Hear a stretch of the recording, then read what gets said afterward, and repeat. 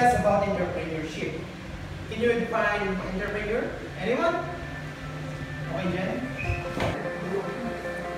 Well, sir, an entrepreneur is a person who owns a business, who takes risks to make a profit. Guys, why don't you take us Miss Castro as an inspiration?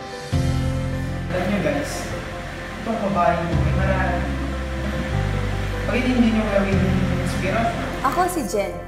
Graduated as cum laude from Divine Word College of Lawag.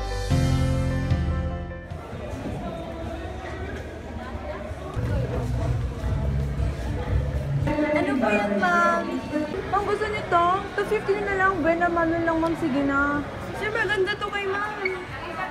Ano ba gusto niyo ba, sir? Parang may mas maganda din, ah. Hindi, sir. Gusto ko to. Balik lang tayo.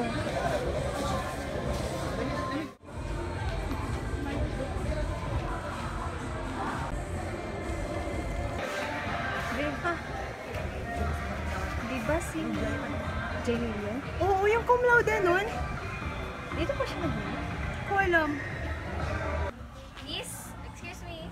Ah, ano po yun? Magkano?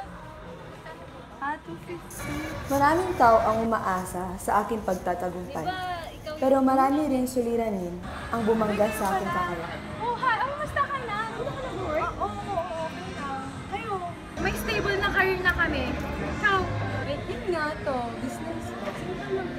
This one of your branch? Ah, oo. Ate, remind ko lang yung payment mo this weekend. Naka, Sir, sir. One week pa lugit na ako, sir. Please lang. masyadong matagal na. Sir, mahina ngayon eh. Hindi na namin kailangan kasalanan yun. Sir. Hindi pwede. Basta this coming weekend. Dinanas ko ang hagupit ng alon na tila ako'y nalunod. friend, nandiyan ka na ba? Na. Anong ginagawa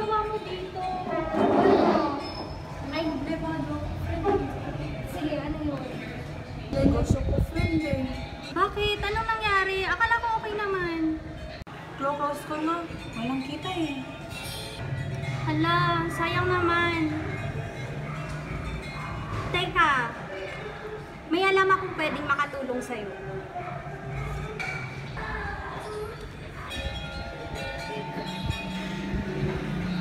Buti na lang, meron akong nakilala na sumagip sa aking pagkakalunod.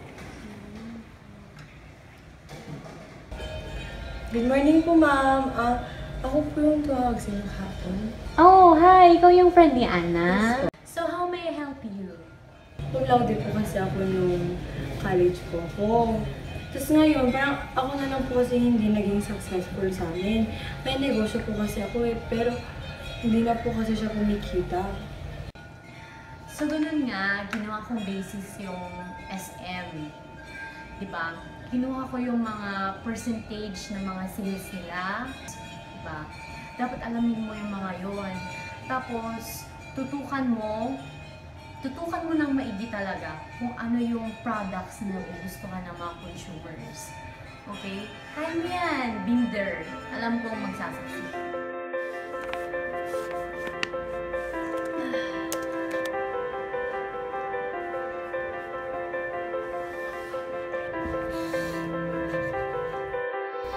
Hinase ko sa mga nakaraang taon kung ano ang pinakakailangan ng mga tao lalo na dito sa Pilipinas.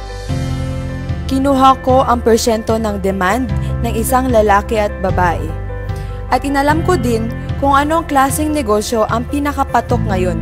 At doon ko napagtanto ng hotel and restaurant ang isa sa mga magandang negosyo sa kahit anong aspeto ng buhay o anumang kursong nais tahakin konektado pa rin talaga ang estadistika. Dahil sa tulong ng estadistika, dito ko napatunayang kaya kong tumayo sa sarili kong pagsasaliksik.